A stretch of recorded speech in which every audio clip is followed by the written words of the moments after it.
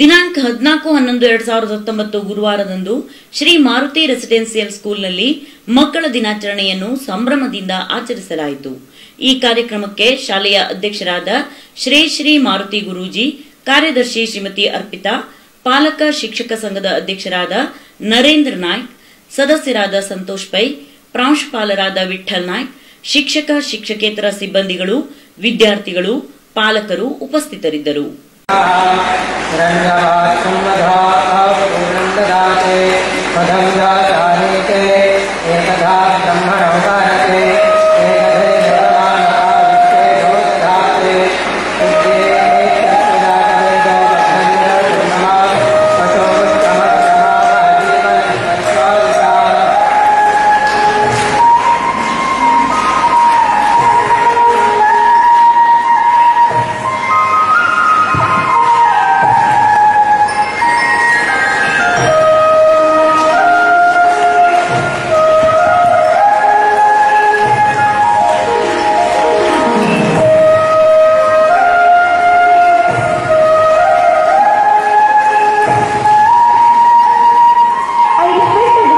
ಕಾರ್ಯಕ್ರಮವನ್ನು ವೇದಘೋಷದೊಂದಿಗೆ ಸಾಂಪ್ರದಾಯಿಕವಾಗಿ ಪ್ರಾರಂಭಿಸಲಾಯಿತು.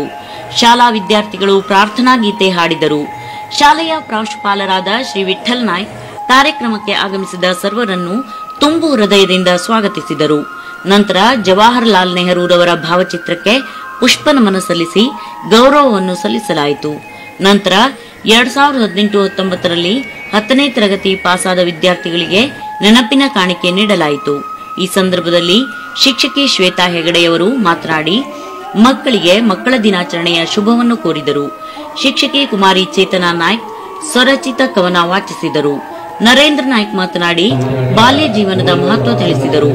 ಶಾಲೆಯ ಅಧ್ಯಕ್ಷರಾದ ಶ್ರೀ ಮಾರುತಿ ಗುರುಜಿ ಮಕ್ಕಳನ್ನು ಆಶೀರ್ವದಿಸಿ ಹಿತವಚನಗಳನ್ನು ಹೇಳಿದರು. ಶಾಲಾ ವಿದ್ಯಾರ್ಥಿಗಳಿಂದ ಛದ್ಮವೇಷ ಸ್ಪರ್ಧೆ ಜರುಗಿತು. ವಿದ್ಯಾರ್ಥಿಗಳು ವಿವಿಧ ವೇಷಭೂಷಣಗಳಿಂದ ಎಲ್ಲರ ಮನರಂಜಿಸಿದರು ನಂತರ ಶಿಕ್ಷಕಿಯರು ಸುಮಧುರವಾದ ಹಾಡಿನ ಮೂಲಕ ಮಕ್ಕಳನ್ನು ರಂಜಿಸಿದರು.